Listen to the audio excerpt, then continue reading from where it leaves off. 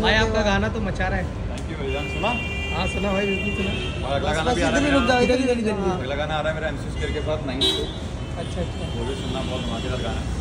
और आज टाइम मिला तो एनिमल देखने आए मैंने देखी सबने बोला बहुत अच्छी मूवी है बहुत अच्छी मूवी है। हम देख कर आएँगे Animal. Specially for Ranbir Kapoor yes Ranbir Kapoor कैसे तुम दोनों?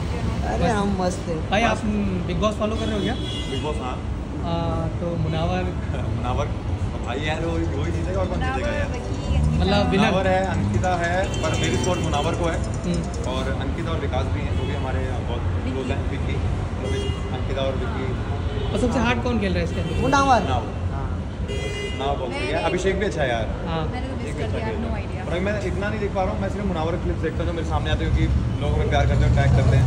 बाकी मैं काम में भी बाकी लव यू ऐसे ना शो मिस हो जाए। बाय